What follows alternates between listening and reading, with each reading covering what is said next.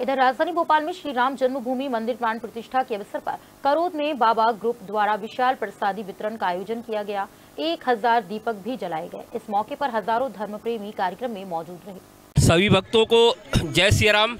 आज ये महाआरती जो हुए बाबा ग्रुप की तरफ़ से बाबा भोलेनाथ की मत दरबार में ये राम भगवान की आरती महाआरती हुई है। इसमें एक हज़ार दीपों का जो प्रज्वलन हुआ है और हमारे भाई सम्मानी करण करण जी और सभी सभी लोग सभी लोग आरती का आनंद लिए। आज पूरा भारतवर्ष राममय हो गया है। इस भारतवर्ष में पूरे सनातनी जो है पूरे भारतवर्ष में राममय हो गया है। भारत पूरे सनातन धर्म का एक एक बच्चा राम राम हो गया है। पूरा राम पूरा भारत देश राम राम हो गया है। पुनः मैं सभी को राम भगवान के आए हैं इसके लिए बधाई देता हूँ। बोलते हैं सभी को जय श्री राम जय श्री राम।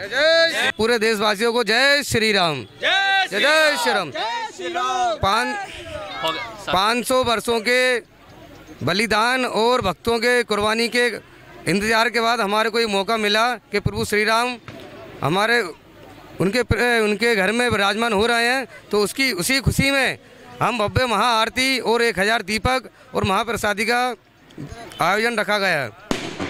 कि सब पे राम जी की कृपा बनी रहे। जय श्री राम